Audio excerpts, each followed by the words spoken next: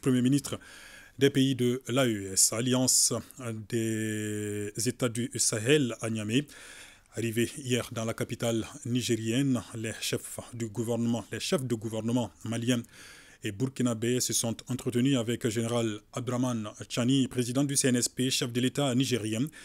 Les échanges ont naturellement porté sur le renforcement de la coopération entre le Mali, le Niger et le Burkina Faso dans divers domaines. Écoutons le Premier ministre, Dr Shogel Kokala Maïga, à l'issue de l'audience. Je voudrais d'abord commencer par exprimer toute notre reconnaissance au chef de l'État et au peuple nigérien, au gouvernement, qui a eu l'amabilité de nous inviter auprès de ce peuple amis et frères. Nous avons échangé avec le président de la transition sur l'ensemble des grandes préoccupations des États membres de l'AES, de l'Afrique et du monde d'une façon générale. Nous nous sommes concentrés essentiellement sur les préoccupations des peuples des États du Sahel. Ce qu'il faut retenir, c'est d'abord la détermination sans faille l'engagement historique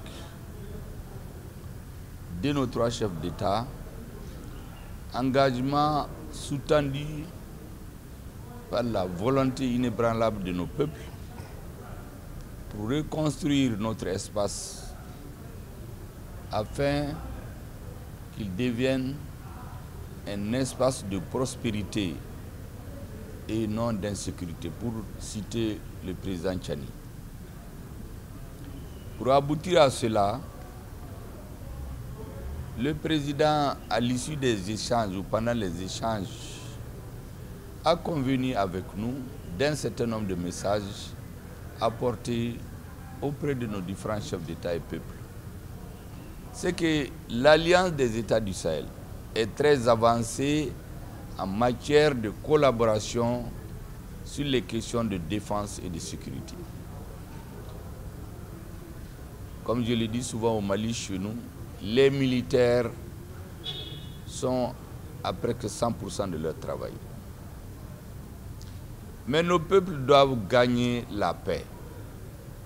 Pour gagner la paix, nous avons besoin d'une intégration totale et complète dans tous les secteurs de développement économique et social. Pour que les multiples richesses de notre espace, qui a près de 80 millions d'habitants, près de 2,8 millions de kilomètres carrés, et d'innombrables ressources minières non exploitées que certains auraient voulu réserver jusqu'au moment où ils en auront besoin, dans 30, 40, 50 ans, je ne sais même pas, pour que tout cela puisse être conjugué à cette volonté inébranlable des dirigeants et des peuples pour obtenir un large développement économique et social accéléré. Et enfin, pour que l'ensemble des populations de l'espace du Sahel puissent travailler dignement, se prendre en charge et donner de l'emploi à l'ensemble des citoyens.